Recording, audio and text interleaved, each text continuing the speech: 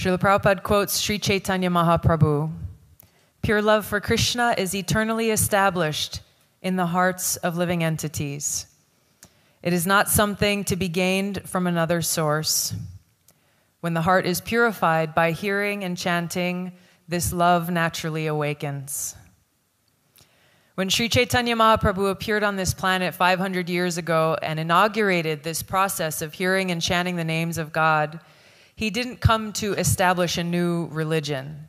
He came to teach everyone that we can completely transcend sectarianism and achieve the perfection of religion simply by hearing and chanting the names of God in a humble state of mind. This hearing and chanting of the names of God purifies our heart so that we're able to actually experience that nectar of love for God. Lord Chaitanya prays, O my Lord, your holy name alone can render all benediction to living beings. And thus you have hundreds and millions of names like Krishna, Govinda, and so on. In these transcendental names, you have invested all of your transcendental energies. Srila Prabhupada doesn't say that there is a Christian God, a Hindu God, and a Muslim God. He doesn't say that we should call God Krishna and not Allah. God is one. He has many names, which are based on his different qualities and different pastimes. We must realize and act on this fact if we want to transcend the fear and hatred that is rooted in sectarianism.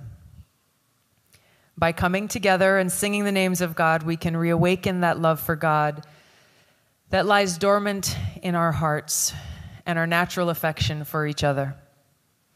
Motivated by this love and compassion, we can then use our own lives to work for the well being of others. So we humbly beg for the blessings of Srila Bhaktivedanta Swami Prabhupada that we may be able to chant the holy names of Krishna with love and devotion. Jai Shri Krishna.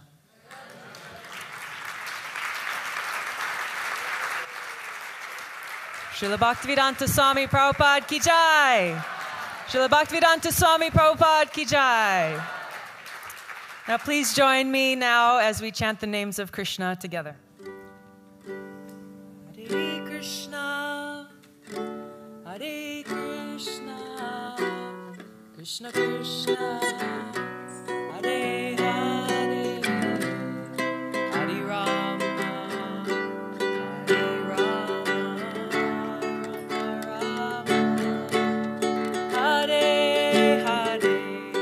Please chant. Hare Krishna,